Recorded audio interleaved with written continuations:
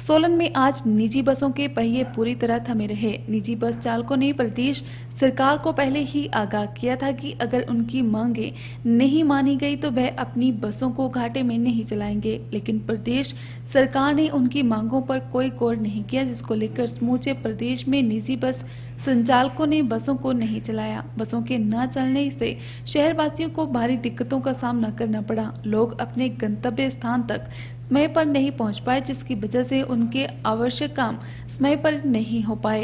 यही वजह रही कि सोलनवासी बेहद परेशानी में दिखे। यहाँ तक कि व्यवसायियों का व्यापार भी खासा प्रभावित हुआ। सोलन शहर वासियों और नगर परिषद के पार्षद अभय शर्मा ने तीखी प्रतिक्रिया देते हुए कहा कि बसों के न चलने की वजह से उन्हें भारी दिक्कतों का सामना करना पड़ रहा है। एक महिला समय पर इंटरव्यू देने नहीं पहुँच पाई और जहाँ पैंतीस रुपए खर्च होते थे, मजबूरी में नब्बे रुपए खर्च कर सोलन पहुँची। उन्होंने बताया कि सोलन में ऑटो चालक भी उनकी मजबूरी का फ़ायदा उठाकर मनमाने रेट मांग रहे थे। पार्षद अभय शर्मा ने कहा कि जहाँ एक और बसों के न चलने से सोलन की जनता बेहद परेशान नज़र आ रही है। वहीं दूसरी ओर निजी बस ऑपरेटर कोरोना नियमों के चलते घाटा सह रहे हैं। इसलिए सरकार को चाहिए कि वह उनकी मांगों पर गौर करे और समस्या को सुलझाए ताकि किसी भी नागरिक को कोई असुविधा न हो। मुझे बहुत ज़्यादा डिफ़िकल्टीज़ हुई है। मैं एक्चुअली धर्मपुर से हूँ। मेरा नाम रोशनी है और मुझे बहुत डिफ़िकल्टीज़ हुई है। धर्मपुर से सोलन तक के सिर्फ़ थर्टी फाइव रुपीज़ लगते हैं। But I have pay ninety rupees because मुझे कोई, मैं डेढ़ दो घंटा खड़ी रही वहाँ बस स्टैंड में। आफ्टर दैट मुझे एक शेयरिंग पे टैक्सी मिली और टैक्सी वाले नाइन्टी रुपीज़ मुझसे लिए। आफ्टर दैट मैं बड़ी मुश्किल से यहाँ पहुँच रही हूँ। अब मुझे सलोगड़ा जाना है बट वही नेक्स्ट टू पॉसिबल हो रहा है। मेरे लिए मुझे कोई बस नहीं मिल रही कोई टैक्सी नहीं मिल रही और इवन ऑटो वाले टू टू हंड्रेड मांग रहे हैं। अब अब आप अगला सफ़र कैसे तय करेंगे? मुझे वही थोड़ा मुश्किल लग रहा है डिफ़िकल्ट लग रहा है मुझे खुद को। इवन आज मेरा इंटरव्यू हुआ है अदरवाइज़ मैं नहीं भी आती।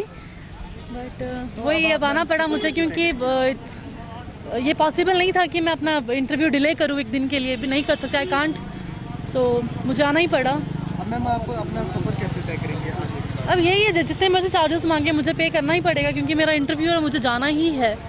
So, मुझे लगता है कि जहाँ गवर्नमेंट को सबके बारे में सोचना चाहिए क्योंकि मैं ये इस बात से मैं डिनाई नहीं कर सकती हूँ कि महँगाई बहुत बढ़ रही है।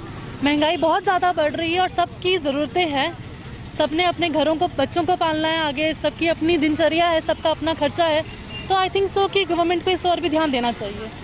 अगर उन्होंने ये स्टेप लिया है तो एनी हाउ कोई ना कोई रीज़न तो होगा उनके पास देखिए, जैसे कि हमारा ये सोलन शहर है, यहाँ पे हर एक जगह के लोग यहाँ रहते हैं। कुछ शिमला से हैं, सिरमौर से हैं और मीरपुर से हैं। तो काफ़ी लोग आना जाना लोगों को बहुत परेशानियाँ परेशानियाँ झेल रहे हैं लोग।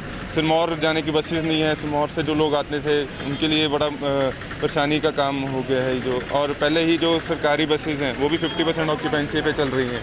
तो लोगों को काफ़ी मुश्किल होगा और ऐसे कोविड के टाइम पे और ऐसा हड़ताल पे जो जाना पड़ रहा है निजी बस चालकों को तो ये एक काफ़ी गंभीर मसला है और लोगों को परेशानी का सामना करना पड़ रहा है। तो बस प्रदेश सरकार से यही आग्रह करना चाहते हैं और मेरी ये रिक्वेस्ट है कि जो भी उनकी रिलैक्सेशन है जो प्राइवेट बस मालिक ओनर्स हैं उनको रिलैक्सेशन दी जाए सरकार की तरफ़ से।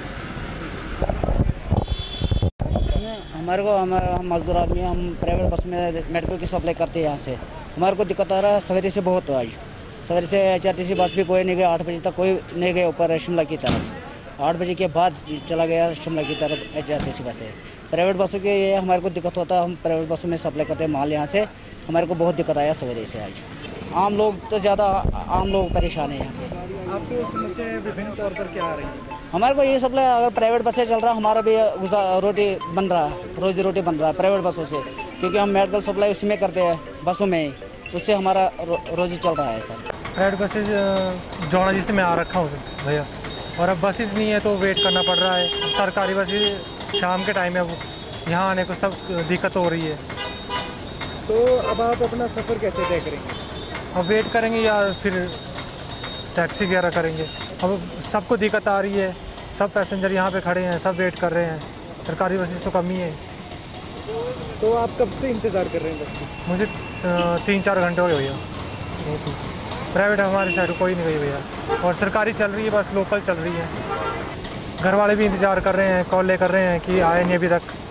फिर हम बता रहे हैं कि बस सो के ना होने के कारण नहीं आ पा रहे हैं।